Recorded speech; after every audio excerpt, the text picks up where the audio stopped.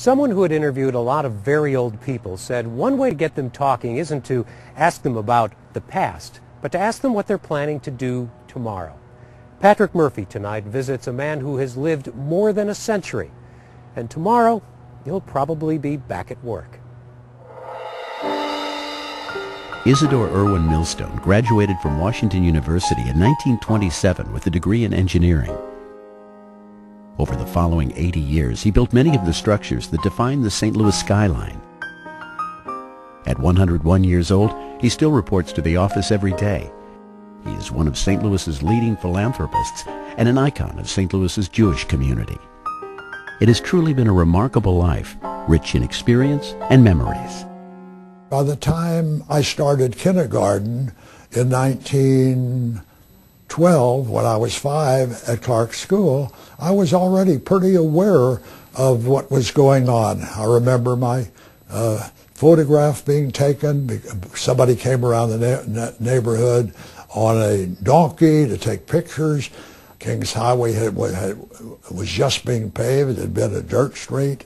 Uh, the fire station was across the street, all with big horses, and I'd watch going out. Right next door to the fire station was Harrigan and Sheehan's livery station, and everybody would go there to get their horses uh, uh, taken care of or their buggies, whatever it would be.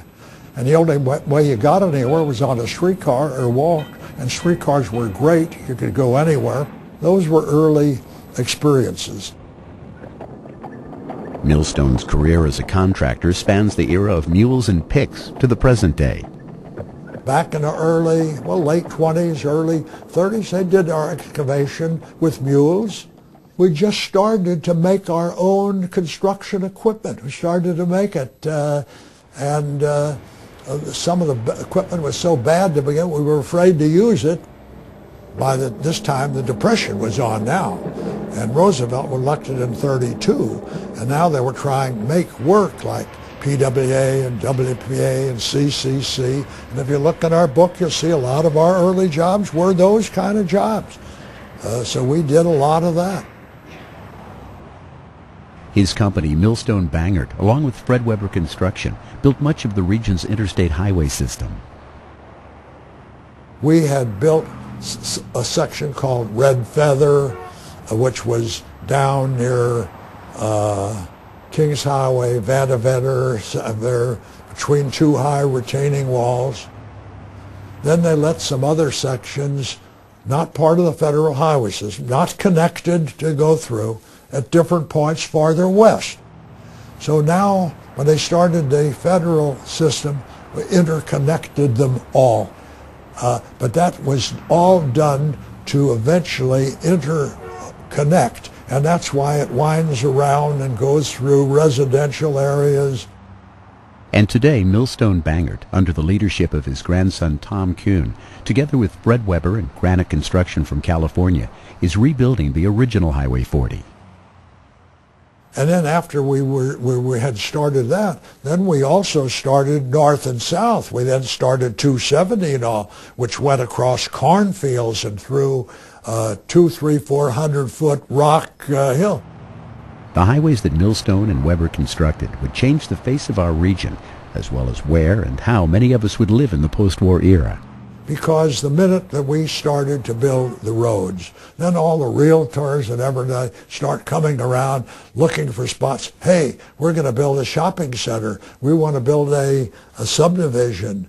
Uh, they were looking for places, you know, to, to expand real estate, you know, and they had to go where the roads were. In the post-war years, Millstone's reputation spread far beyond St. Louis bringing him in contact with the leaders of the newly created State of Israel. Millstone's parents, Louis and Mary, raised their children as Reformed Jews, and growing up, I.E. never considered himself to be particularly religiously observant. But his father-in-law, Louis Gollin, was an ardent Zionist, and in the 1930s convinced I.E. of the need for a Jewish state. Today, Millstone recalls how in 1948, Israel's first prime minister, David Ben-Gurion, asked him to come to Israel and provide housing for the thousands of people emigrating from war-torn Europe and the Arab world. Ben-Gurion said, we need help. The people are coming in on boats and we've got no place to put them and all. And we hear that you are a housing expert. You build a lot of houses. And so we want you to come. We want you to come here and help us and bring uh, some experts with you. I got Lou Kahn, the architect, who was, uh, wasn't so famous then. He became famous. First of all, we didn't want any prefabs at all because, as, as they say, there's nothing as permanent as a temporary house. And here is this beautiful potential country. Nothing there at the time at all. But Millstone, with his long history of working with reinforced concrete, knew that Israel had all of the basic materials needed to build houses and roads. There's nothing there but uh, sand and, and rock, uh, not even much water. I said, you've got everything you need. You've got everything you need. And we will build an industry. And we did. And though I.E. Millstone has spent his life looking toward the future, today he allows himself some reflection on his long and rich life. I don't want to be morbid about it, but I know I won't be here much longer.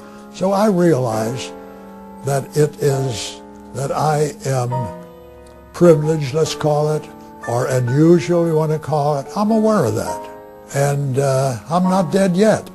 As they say, use it or lose it, as you know, whatever it would be. So basically, uh, I stay active and I don't think I've lost it, really, you know. And an awful lot of people want to talk to me about things that are history to them, but are important to them. And it's history to them, but it's your life. It's my life, whatever it would be.